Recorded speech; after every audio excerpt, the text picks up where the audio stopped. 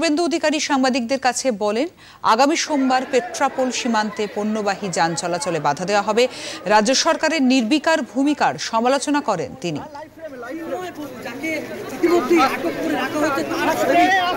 একজন দেশের প্রশাসক, তার দেশে কি হবে আমাদের জানারও দরকার নেই।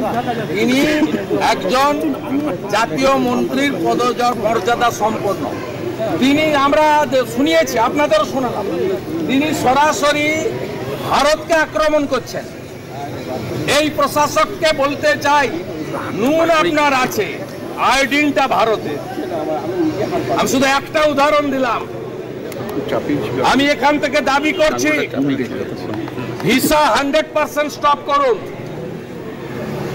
আমরা প্রয়োজন হলে একদিন অপেক্ষা করে ভিসা দপ্তরেও যাব এখানে ভিসা সেন্টারে। স্টপ ভিসা দেওয়া বন্ধ করুন completely export import permit issue করা বন্ধ করুন। বাকিটা আমরা বর্ডারে করব সোমবার থেকে।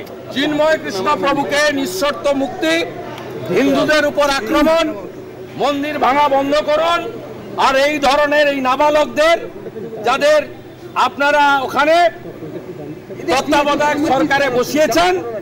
এই নাবালক যারা মন্ত্রীর পদমর্যাদায় তাদের এই ধরনের ভারত বিরোধী কথা বলা বন্ধ করুন।